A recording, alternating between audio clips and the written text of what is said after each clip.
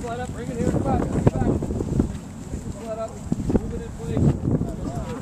Flip the uh, safety It's not a bad idea, you know. Uh, typically in an incident, you're going to have more manpower. You could probably lift up this pond and take it away. You're going to have that many people. So you can use man manpower to create the barriers also. Come on, pull. All right, all right, so he's on.